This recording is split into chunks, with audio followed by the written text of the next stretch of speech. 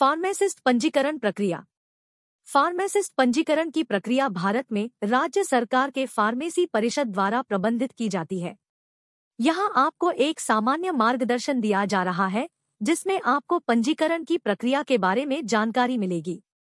एक, योग्यता। सबसे पहला कदम यह है कि आपके पास एक प्रस्तावित फार्मेसी या फार्मा डिग्री होनी चाहिए, जिसे आयोगानुसार मान्यता प्राप्त संस्था से प्राप्त किया जाता है।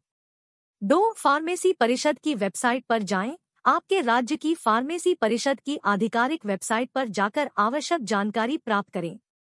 तीन पंजीकरण आवेदन पत्र भरें। वेबसाइट पर उपलब्ध पंजीकरण आवेदन पत्र को डाउनलोड करें और उसे सही और पूरी जानकारी के साथ भरें। चार दस्तावेज़ साबित करें। आवेदन पत्र के साथ आपको आवश्यक दस्तावेज़ प्रस्तुत करने की आवश्यकता होगी, जैसे कि शैक्षिक प्रमाण पत्र डिग्री डिप्लोमा उम्र सत्यापन दस्तावेज़। पंजीकरण शुल्क। फोटोग्राफ। पाँच, फ़ीस भुगतान। आवेदन प्रक्रिया में शुल्क भुगतान करें, जैसा कि परिषद की निर्दिष्ट निधि में। छह, आवेदन जमा करें। पूरे दस्तावेजों के साथ आवेदन पत्र और शुल्क को फार्मेसी परिषद के कार्यालय में जमा करें।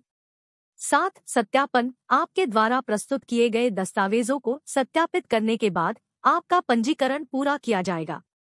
आठ पंजीकृत फार्मासिस्ट का प्रमाण पत्र जारी किया जाएगा। जब आपका पंजीकरण पूरा होता है तो आपको पंजीकृत फार्मासिस्ट का प्रमाण पत्र जारी किया जाता है, जिसे आपको समय समय पर रिनीव करवाना होता है।